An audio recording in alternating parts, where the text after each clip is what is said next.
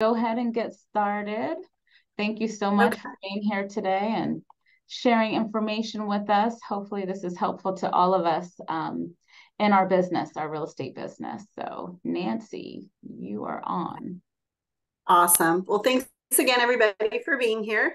Um, I'm Nancy Spiro and my colleague Grace Lynn. We are your preferred lenders with Movement Mortgage, and we are loving these these um, monthly calls with you guys, being able to bring you some products, some specifications, and just hope uh, extend your knowledge so you have more tools in your tool belt. Um, so today we're going to be talking about some first-time homebuyer programs and down payment assistance. Um, I think the stat was that 62%. I think Shannon said might have mentioned this of home buyers next year are going to be first-time home buyers. So it's definitely a market that um, we want to explore and we want to be able to um, help these people achieve homeownership. So we're going to dive in, cover a couple programs, cover some down payment options. And then um, I don't want to talk the whole time. I want to leave it open and we'll do some Q&A after if it has to pertain to first-time homebuyers um, or anything. And we'll try and um, answer your questions. So let's dive in. First, what kind of questions do we hear? And I'm sure you guys hear these as well, right? Oh, I can't buy a house. I need 20% down. Um, that's not true. We're going to see, we're going to see how that works. Um, you're going to see, you know, can my parents co-sign for me or can they just give me money? Yeah, absolutely. Parents can co-sign, but there's different, you know, income limits for certain products and things like that. So we need to strategize what's the best way to, to maybe utilize help from family members. And can they give you money? Of course, we want them to give you money if they can give you money because that's a gift, um, and we can we can uh, work that into the the um, purchases as well. Um, I always hear this like I've got horrible credit.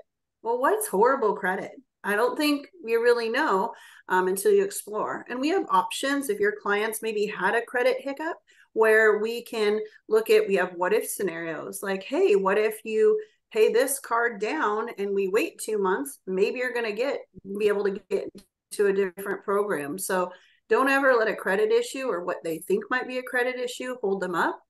Um, you know, the cash under the mattress. Well, we can talk about that. Um, there's different ways to make sure that money is sourced in season. So getting it into a bank account um, or any accounts that will be used for the purchases, we need to make sure we have uh, 60 days of those accounts with the money in there.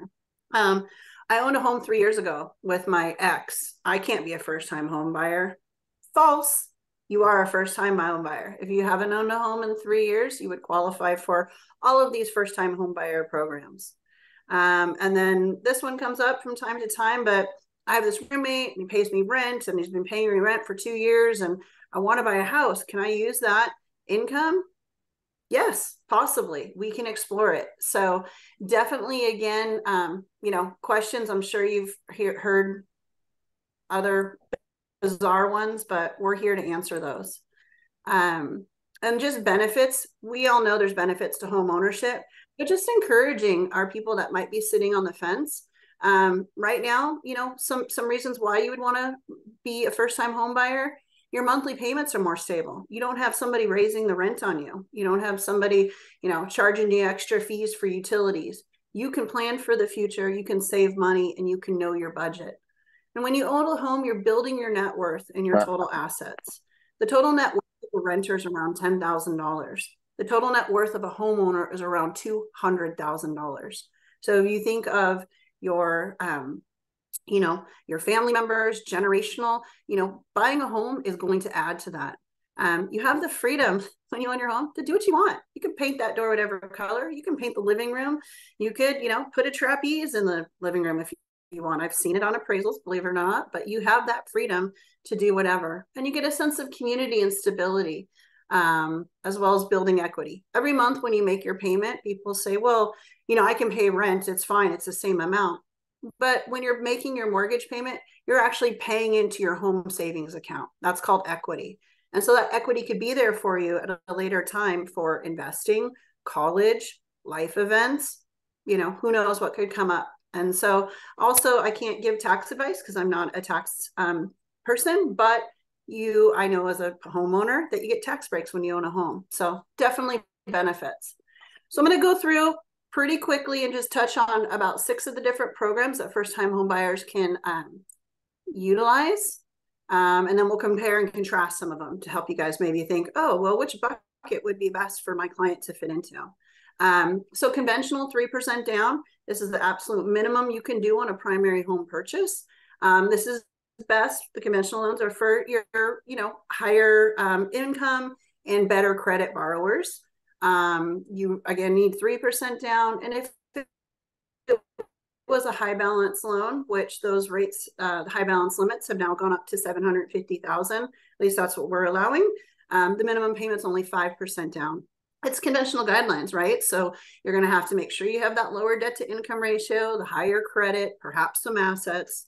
Um, and so want to just explore what that looks like for our people. And then you will need to take a home ownership um, counseling course. You can do those online or in person. Um, and you must, at least one of the borrowers need to be a first time home buyer. So if one isn't, but one is, that's okay. So that's the conventional program. And a lot of you probably hear about Home Ready and Home Possible. So these are programs that are um, allowing 3% down and it's an affordable product. So these are here for our first time home buyers. Um, and it's for, but you don't have to be a first time home buyer to use either one of these, just a little side note there. Um, but these are for home buyers maybe with, you know, low to moderate household income. There are medium income limits that need to be adhered to for these products, and those are different upon county. So that's something we can help you find out about. Um, Home Ready is a little more lenient with credit. You can go down to a 620 score. Um, and this is the one that allows you to use boarder income or that rental income. Now, the rates with Home Ready and Home Possible are typically a little bit lower. Um, there's no what they call LLPAs. So these are loan level pricing adjustments. So they wanted to make it easier for first time homebuyers to be able to avoid to afford um, these these purchases with lower down payments versus the conventional loan. Um, and you'll also get discounted mortgage insurance. So mortgage insurance rates usually depend on the amount of money you put down and your credit score and your debt to income ratio. And so this the um, insurance rates on these are a little bit less than what would be with just the regular conventional loan. You will need to attend a HUD approved home ownership education class and again, I, I just think these classes are great for first time home It gives them all the nuts and bolts. It covers every facet. You as agents educate them, us as lenders educate them, but this really covers it, you know, from head to tail on what you need to know about being a homeowner.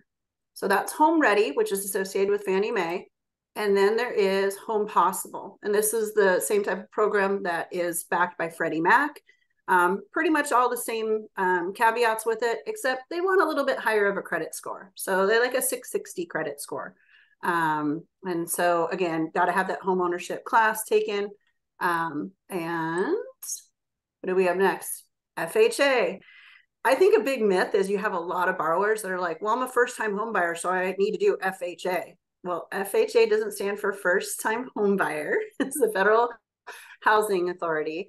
Um, we covered this last month a bit, but um, you don't necessarily need to be a first time home buyer. Um, mm-hmm. FHA allows for a three and a half percent down. So again, that minimal amount down, 100% of it can be gifted.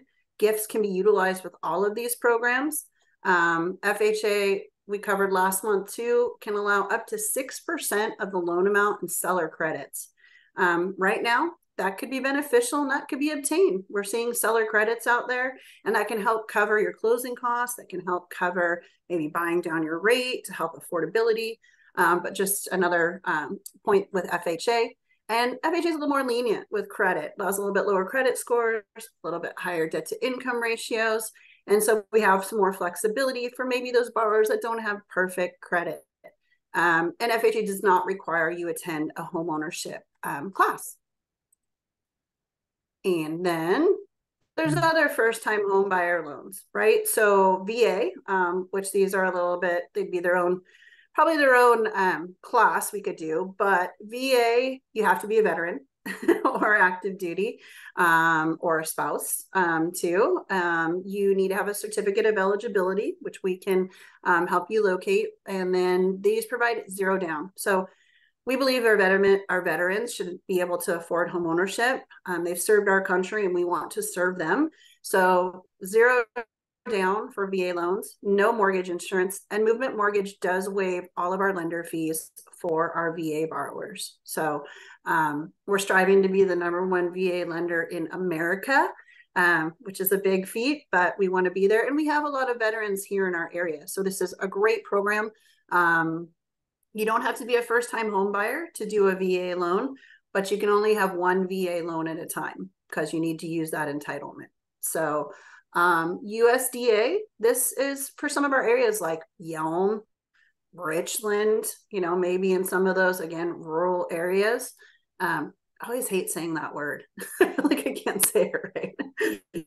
um, but you need to be a first time home buyer and you get to finance 100% of the purchase. So um, definitely some programs those are a little bit outside of the box um, but worth exploring. And if you have some clients that are looking in those areas that you might think qualify for usda we can look them up. There's lookup tools and we can also provide that um, for you. So we will scooch on. What about my down payment? Your borrower is going to come to you. Well i i have this savings Awesome. That's the first thing. You've got your own cash. Great. So you're going to have the ability to uh, put that minimum down or more um, and, you know, utilize what you've saved up. Super. That's great. Or my parents or grandparents want to gift me the money. Fantastic. We can use gifts from family members. Um, even with FHA, it could be a close family friend if we can document that. Um, and those gifts are documented we need to obviously see where the, the source comes from. And then we provide a gift letter, making sure that the gift is not a loan or anything that the borrower needs to needs to repay. So um, gifts are allowable. Um, state bond. So some of you might have um, used this program before. The Washington State Housing and Finance Commission provides down payment assistance. They want to help people who have never achieved home ownership achieve home ownership by providing down payment assistance and so I'm going to dive into that a little bit more. And we said, hey, we're movement. We want to be a movement of change. We want to provide down payment assistance. So we have our movement boost program. Those differ a little bit in repayments um, and just how they're structured. And so um, I'll go into those. And remember, put your questions in the chat or save your questions and um, we'll move on. So the Washington State Housing and Finance Commission has many different down payment options. Some of them are very um, their, specialty, such as home choice, which is for only buyers with a disability or if they have a disabled family member living with them. Um, they also have down payment options for veterans. Um, again, you don't have to have a down payment, but perhaps that could be helpful um, in qualifying. Um, one that we really use a lot is our Home Advantage DPA. Um, that provides three, four, or five percent in down payment assistance funds to help with your purchase. And that needs to be used in conjunction with the commission's first liens, which are either conventional or FHA. And I'll be honest with you, their conventional first liens are pretty pricey. Their rates are up there. The more down payment assistance you get, the higher the rate goes, right? Because they want you to have some skin in the game or they want to make sure you can afford the payments. So I'm going to do a comparison in a little bit, just showing you their FHA program versus our Movement Boost program and the down payment assistance that are provided with that. And again, this is just high level. There's so many details to each of these. If you have questions, just reach out to us and let us know. Okay. Um, and then our Movement Boost program. So this provides up to 5% down payment for a primary home purchase. You don't have to be a first time home buyer and it's used in conjunction with an FHA loan. We don't offer a conventional first loan option with this. Um, the second is a little bit different where it's immediately repayable, where the Washington State um, Housing and Finance Commission bond loans you do not have to pay them back until you actually sell or refinance your house. Um, Boost again is a little bit more flexible, 620 minimum credit mm-hmm. score, and we can go up to 50% of our debt to income ratio. And two unit properties are allowable. And we're going to give you a little fun um, new thing that's coming out on multi-unit properties at the end of this. I'll let Grace tell you. She's got a fun thing to share with that. But for now, let's go ahead and look at Nancy, what have you talked about? Well, here's a summary. Let's look at, we've got the conventional. I thought it'd be helpful to see a scenario. You got a client, let's say the house is $500,000. We've got a conventional loan. We got your 97%, your 3% down. We've got an FHA loan with 3.5% down, and we've got Home Ready with 3.5% down. So you'll see right here, down payment, 3%, $15,000, and then that's what they'd be financing.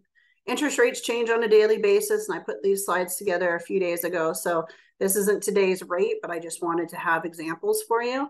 Um, we will see the principal and interest is 3537. Escrows, I use the same across the board for taxes and insurance, so we can compare apples and apples. But you see with that conventional 97%, the mortgage insurance is a bit higher than our other ones as we look across the board.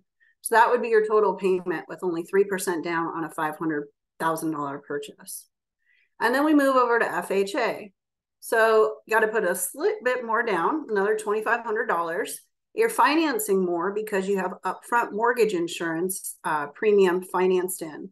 So you've got a lower rate, but you're financing a little bit more. But look at that. Your payment's still roughly 15 or $20 less, even though you're financing more.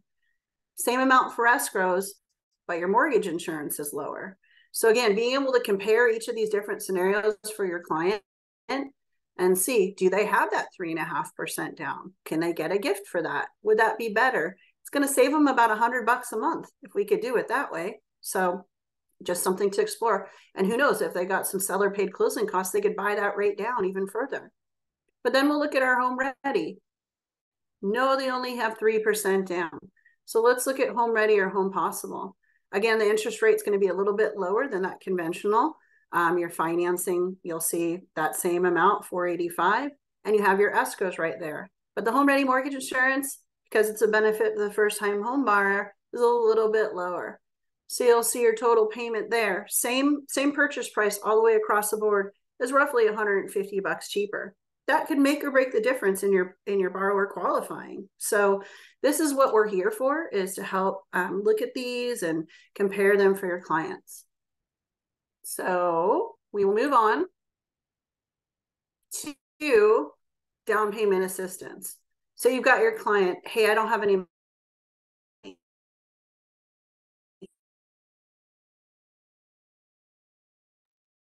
Nancy, you're breaking up on us. okay. Uh, I think we lost the last five seconds there. Nope. Am I here? I, I hear you now. Or maybe it was just me but you definitely froze for me for about five, six seconds there. I think everybody. Okay. Oh, sorry about that. I'm not. No um. Uh. Well. Let's see. Did you get this part? Where are we? I think just restart this slide. So we got that part. Yeah. Okay. okay. So here's two scenarios with the down payment muted. Um, your borrower comes to you, I don't have any money. Okay, I want to buy a house. Great. Let's see what we can do. Now, you're going to have to have the discussion with them. They're going to need some funds, right, for their earnest money and their closing costs. Um, and we can, you know, obviously talk about that. But for the down payment, the big chunk, right? So, how do we help them? So, here's the Home Advantage DPA program. And this one is providing 4% of down payment assistance to go towards their purchase. This is an FHA loan. So the second that they're getting from their down payment is going to give them roughly 19,600 and some dollars. Their down payment's only 17.5. So they have a little bit left to put towards their closing costs. Um, you'll see the Home Advantage down payment when I looked at it, their rate was a bit higher. Again, they're giving you the funds, so they are going to have a little bit higher of an interest rate. So you can look at here the principal and interest, escrows, mortgage insurance. Again, um, is 4281. Now, as I mentioned, the second lien from the down payment doesn't require a payment. It's a zero interest loan that is a second mortgage behind your first. And you do not have to pay that off until you sell your home or refinance. Now, you need to know it's there, right? That's an extra $20,000 that when you go to sell, you're going to have to pay that off.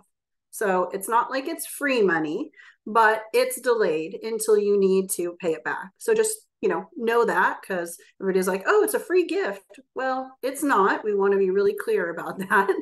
Um, but it's helping you get that foot into the door of home ownership. And then with our Movement Boost program, um, as I mentioned, this can give you up to 5%. So with the same down payment that you would need, you can pay your down payment and you can have an additional, you know, $7,000 to use towards your closing costs, um, really getting you in there with almost no money of your own down. However, we do require with this program the payment to start immediately. So um, our FHA Movement Boost First mortgages are lower than market. So you'll see seven and a half percent. Um, so your principal and interest is going to be lower there. Escrow's the same, mortgages, insurance the same, and you can see your total payment is much less on that first. Um, you do have a second payment, right, on that second, and the interest rate on that is always going to be 2% more than the first. Um, so that's a payment of $318. So yeah, your payment's a, little bit higher with the movement but you come in with your down payment covered, almost your closing costs covered, and you're immediately paying that second back, which is only a 10 year loan. So you're building your equity, making those payments um, if you qualify for that. So I know that is a lot of information. so um, I just want to make myself and Grace make ourselves available um, for questions. Let me know if you want me to revisit any screens or what have you got?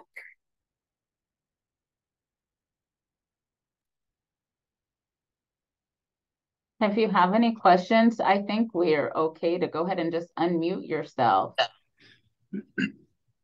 Hey, this is Riley Ayers. Yeah, just uh, that last one, uh, that last slide, you had the first option, uh, down payment assistance, and talked about you wouldn't have to pay it until refi or selling the home. Uh, it said simple interest, but you're talking about no payments. Can you explain that again?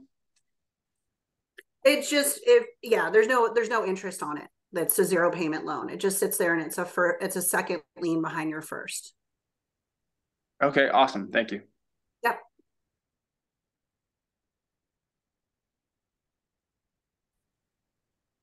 Is there anything fun in the chat, Grace? Yeah, what's the income limit for the down payment assistance program? So I know the home advantage uh, max income limit for King and Snohomish County is hundred forty six thousand five hundred, and all other counties are hundred fourteen six hundred. Mm-hmm. And they do, they will change those. I don't know how often, um, but we can always look it up. Yeah, they, up. yeah, they just made that change in May, and it's still on. Like I just checked their website too.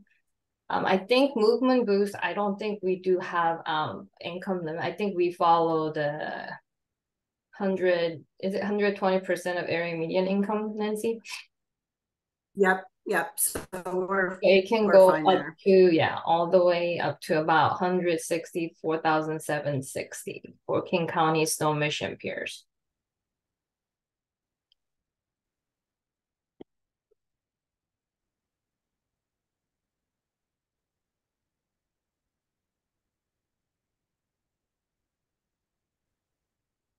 Any other question? It also doesn't have to be about first time home buyer down payment. We're here to just answer your questions. Yeah.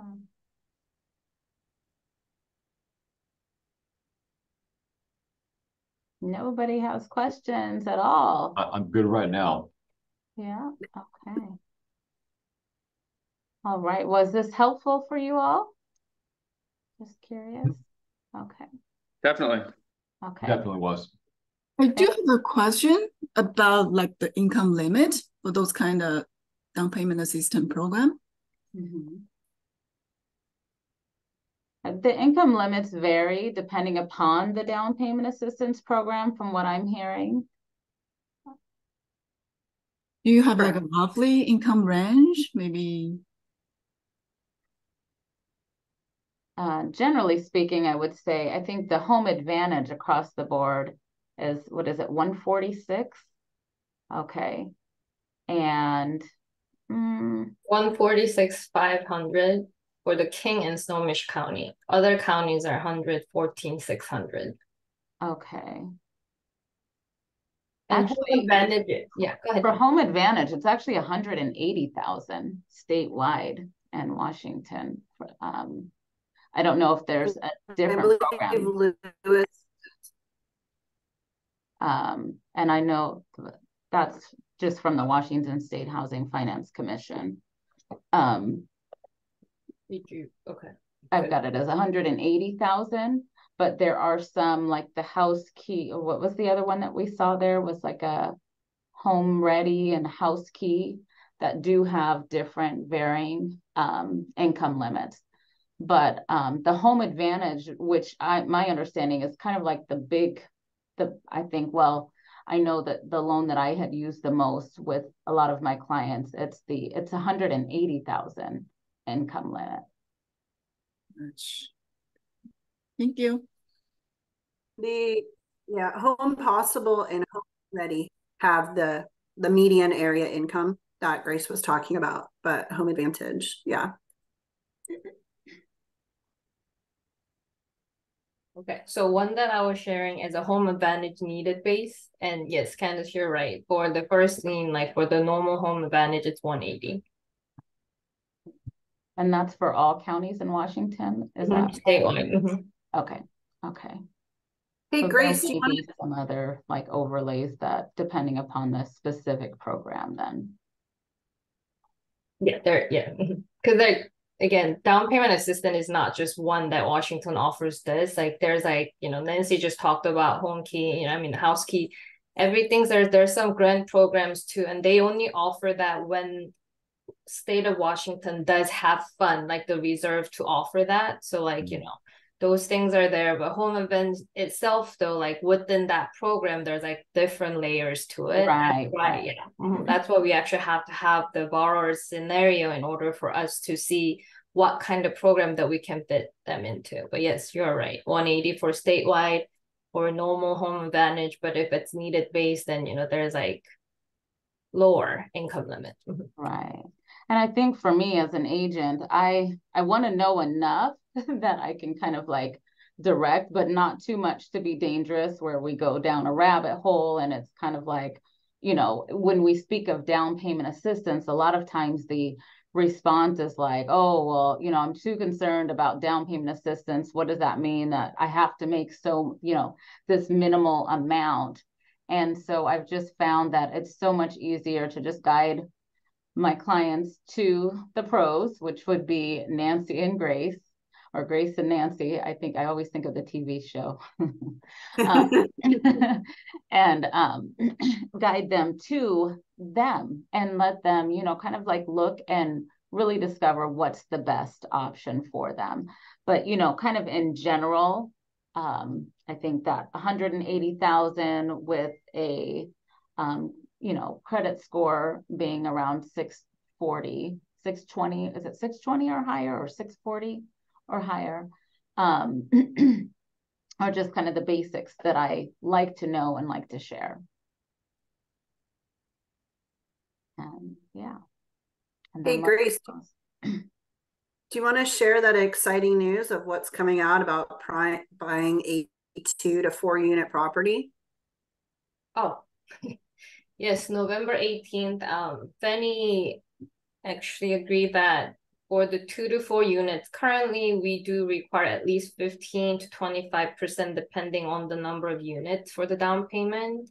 But now if you're buying it as a primary, meaning that you will be living in one of the units, then we can consider that as a primary and then you can do 5% down for a minimum down payment. And also before they would not let us count the rental income if you're a first time home buyer buying them as a primary, but now we will actually let you use the future rental income from the other unit as part of your qualifying income.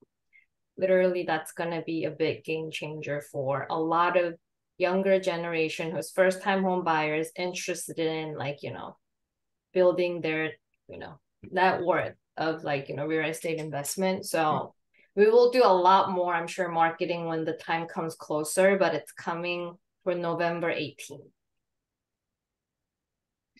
It's really something that could be beneficial to first time home buyers where they can move in, have somebody paying half their mortgage and start building that equity with as little as 5% down. So just since we're covering first time home buyers, just something to consider. Maybe your buyers haven't thought about that, right? Like I've never been a landlord. Well, let's let's look at what that looks like for you. So I think it'd be a, a great stepping stone too for first time home buyers, which I think back when I bought my house, that wasn't an opportunity because I didn't have 20,000 or 20,000, 20% down to do that. Um, let alone, you know, just thinking of those opportunities. So I encourage all of you go through your database, think of your sphere of influence and the people um, that are in your contacts that would benefit for this, or maybe some of the home t- uh, first time home buyers that over the recent years that you know weren't able to um, get into homes based on you know uh, ridiculous amounts over asking. And now versus kind of two the challenge of um, the interest rates. Um, this is a great way to leverage um, and know that this is a great um, opportunity to get your foot in the door as a first time home buyer. Yes it is nationwide. Mm-hmm.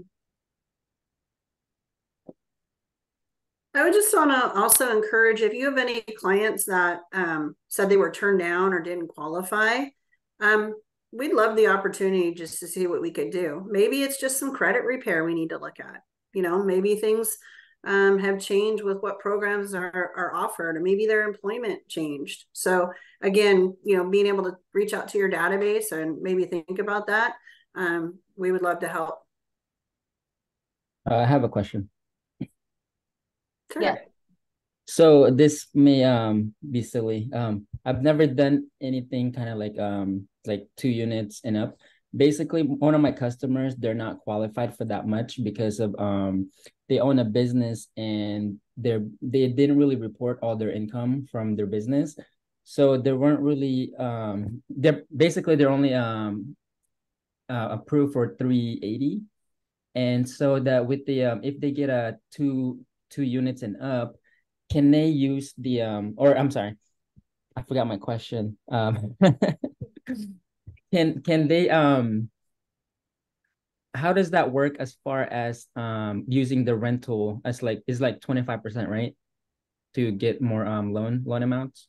So like so, if they're yeah, sorry. It no, I'm sorry. It's 75%. So if you've never been a landlord before, or like, you know, we don't have documents to prove that you were receiving any kind of rental income for more than 12 months, then mm-hmm. we can use up to 75% of your future rental. So let's say if, you know, the other unit's rent will be $1,000, just let's say it's going to be higher, but we can use uh-huh. 50 of that to, you know, offset your um, future mortgage payment and then mm-hmm. the rest of it you have to qualify with your own income. Gotcha gotcha. Okay. Got it. Thank you. No problem. you would get you would get that future rental income from um, if there's already a renter there or mm-hmm. within the appraisal. The appraiser will do um, a fair market rent evaluation for the unit as well. And so that's what's used um, for underwriting purposes. Gotcha, gotcha. Okay. Thank you. And Ken, sure. for your comment, yes, we will actually send out an email with, you know, the basics of each down payment, you know, like minimum credit score, loan limit, you know, or any kind of other things that might hinder the, you know, situation or like if people might have a lot of questions, we'll make that and we'll send that out. Cool. Thank you. Mm-hmm. Any other challenges you guys have experienced over the last couple of weeks with any of your borrowers that we could maybe help overcome? Everything's peachy. No. or have you guys ever heard of any other like loan programs, you know, that might sound too good to be true or anything unique, like you know, anything that you might want to share with us? We can see if we can bring something on like that if we don't have it already. There. There was. Um, Sorry. Go ahead. I'll figure out what I'm looking for. do um do those units qualify for a down payment assistance as well? For the five percent? Um the the November 18th one, the one that's coming up. Mm-hmm. I'm sure we will have more updates on that, but as far as we know now, we haven't heard anything from the Washington state yet, but we are assuming it should be because, you know, they're following normal Fannie and Freddie guidelines, and this is a primary homes only. Right. So we're hoping oh. to hear back from them, you know, with the same or similar line of, you know, qualifications. So we'll let you know for sure. All right. Thank you. Mm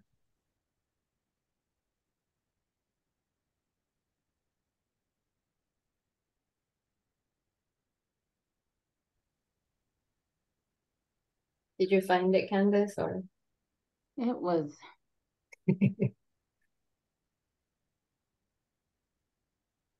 I can't remember what it was, but there was one that was available. Mm-hmm. I, I want to say that, um, God, I can't remember the specific details, but it was something that was available last year and it was a great loan. I want to say it was something like a Grow Daisy. Does that? Oh, yeah. Mm-hmm, Is that mm-hmm. even still even available? Some of the the it it is is what I'm hearing. You know, those actually there's a bank that who's offering that, and yes, that is the name crow Daisy.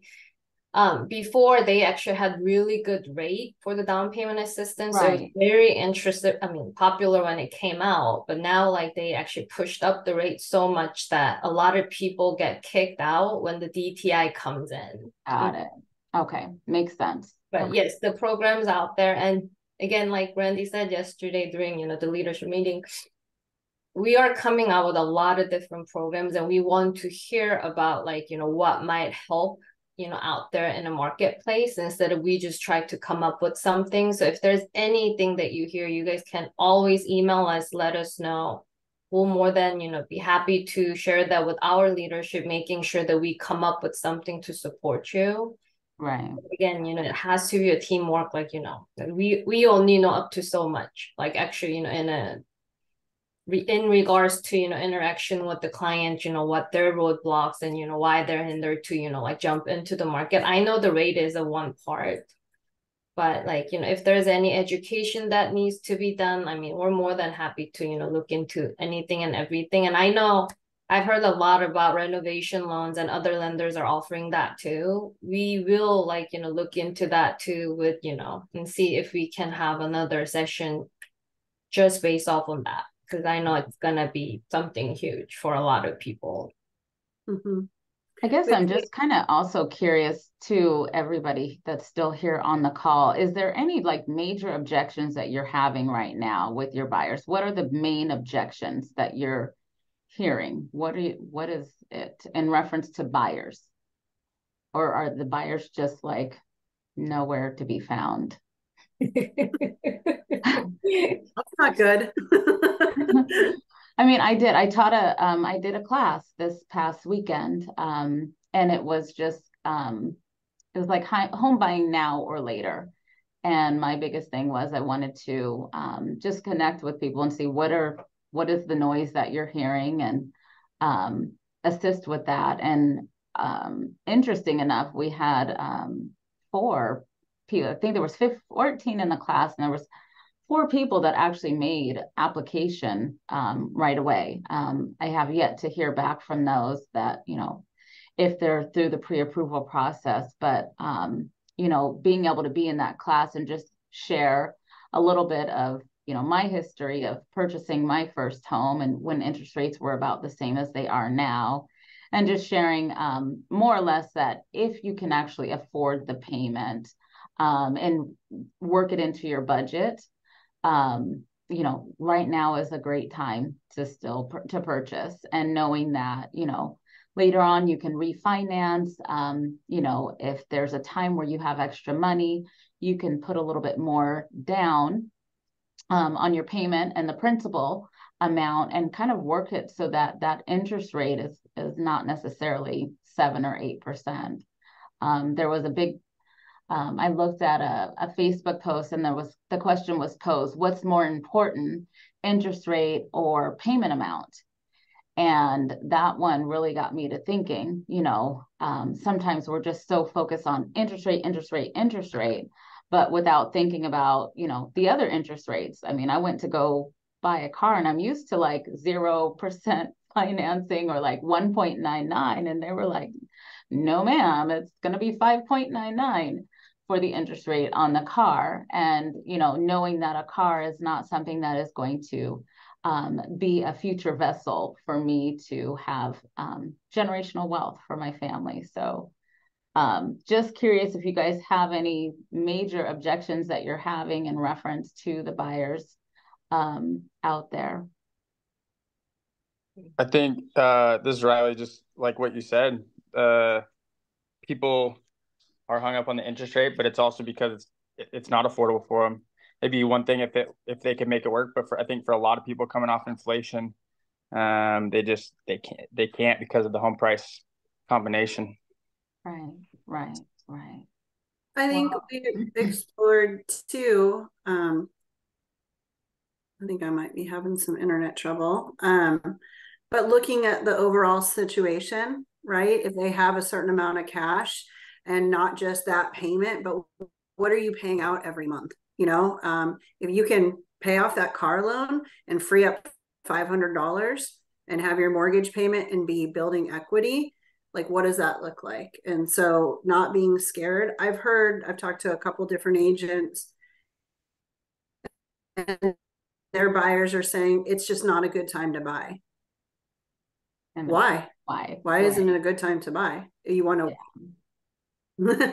why I mean explain to me why you think it isn't a good time to buy because you want rates to be lower.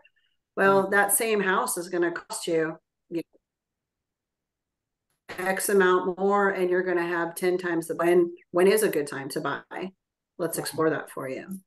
Right, exactly. Um, I think I saw payment is too high, rent is still cheaper for a home the same size than purchasing it. And I think that's, you know, that very well may be true. Um, I don't know a lot of cases where it was cheaper to purchase a home, um, you know, over my course of, you know, purchasing, and I've purchased six homes um, in the last, I don't know, however long. But um, with that, though, I think too, the other thing is renting is a hundred percent. And that is a hundred percent paying your landlord's mortgage for them, nothing that is building anything for you mm-hmm. in the future. So, you know, my my big thing with that is yes, it's always going to be, you know, cheaper to rent, but I think in the long haul in the grand scheme of things, even if it does cost you maybe 500 or $1000 more per month to buy, um, you're building your own wealth, your own equity, as opposed to, you know, paying for maybe one of my properties, you know, um, and, and at some point actually paying my income, you know. And so that's kind of, I kind of try to get to the core of that and helping people to understand and sharing. Um, to Hyatt, you're a homeowner. So, you know, knowing that you have something, a nest egg for your children um, in the future, or even for retirement later on. So. Yeah, and some of the things that, you know, we talk about is like, you know, Candace said that, yes, I mean, you know, rent could be cheaper, but, you know, it's like, you know, you're throwing your money out the window. So when you're looking at the mortgage payment, you have to kind of look at it as a longer term savings so if you are like setting aside of saving account to, you know, get like, you know, deposit, I mean, save up more down payment, it's actually smarter to use the, you know, minimum or down payment assistance to purchase a home and you're actually putting money back into the home, you know, by building equity because none of the savings, you know, account out there will build you, you know, the wealth that the, you know, home's equity will do in a, you know, same amount of time that it will. So that's one of the thing and i know a lot of people talk about high interest rate but one part that they don't really think about is you know we all have to file taxes at the end of the year and high mortgage interest rate is a tax deductible depending on everybody's situation. Yet it could be a little different but you know government is actually helping you pay part of you know that higher mortgage payment because you're paying higher interest rate. So people who have like two three percent interest rate they do pay mortgage you know interest too but like they're not getting that much of a deduction compared to people who's actually paying it at seven eight percent so if you do some calculation on that with your tax professional you'll see some of the savings that you actually have by paying a higher you know mortgage payment. So that's you know like two different kind of things the education that we you know talk to the clients in regards to. So once they see those difference you know they get a little more encouraged to like you know, apply and get pre-approved and look for homes. Yeah exactly. Uh, that is a great point also just wanted to touch upon we you mentioned it really quickly but just in those scenarios we looked at right if you've got a loan amount you know uh, you purchased a home um, at $500,000, right? And we're looking right now for, you know, a, a, low appreciation rate, maybe say 4%, right? We're not at the 12 or 13%. But that just put $20,000 in equity in your pocket as a homeowner in addition to what you're paying. So where where are you going to get that like you mentioned Grace in a savings account? You're not you're going to save $20,000, you know, putting that away most likely, you know, I don't know, maybe you could, but that's instant, you know, savings and in that asset and in that generational wealth that we've been talking about, that continually compounds year over year. So just helping your borrowers if they're talking about, I don't want to buy versus rent. One thing you might want to bring up to them with home appreciation values. All right. Well, we won't keep you all. Have a fabulous day. Thank you so much, Nancy. Thank you, Grace. Appreciate the time spent. Um, and if there is anything, uh, uh, Nancy's number is in here, um, and email address. So if you guys have any questions, you can reach out to me. I will get you their contact number and contact information. Um, but if there's anything, you know, you're having trying to deal with some objections and want to just have a conversation around it, um, feel free to reach out to any of us. Okay. Thank you so much. We appreciate you all. All right. Thanks again. Have a good one. Thank you.